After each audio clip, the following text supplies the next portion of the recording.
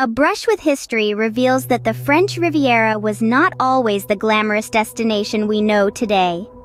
Unbelievably, it was once a marshy malarial backwater. It was the English aristocracy of the late 18th century seeking escape from their damp, dreary winters who first saw the potential of this sun-drenched coast. And so, the transformation of the Riviera began.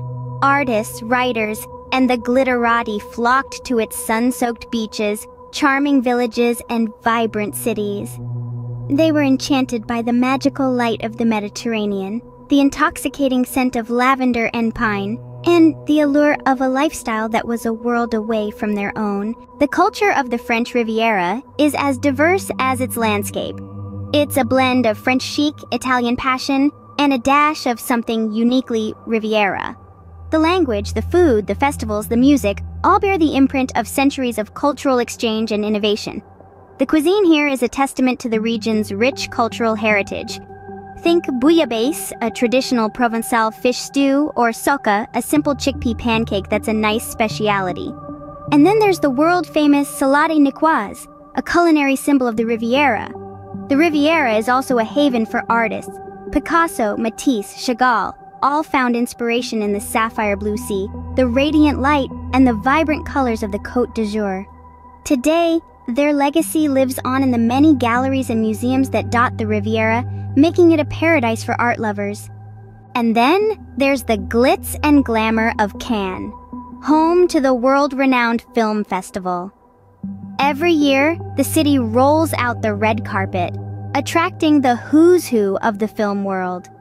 But Cannes is not just about films.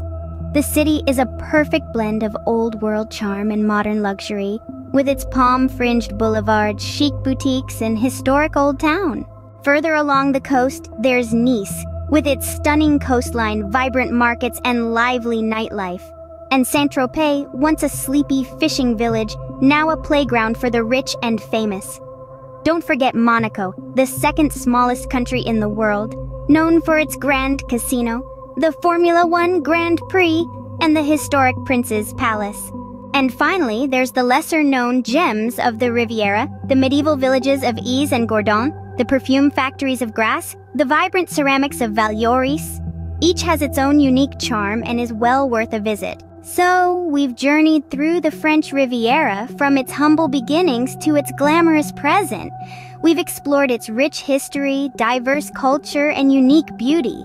From the glitz of Cannes to the charm of Èze, from the art of Picasso to the cuisine of Nice, the French Riviera is a destination that has something for everyone, and it's waiting for you to discover.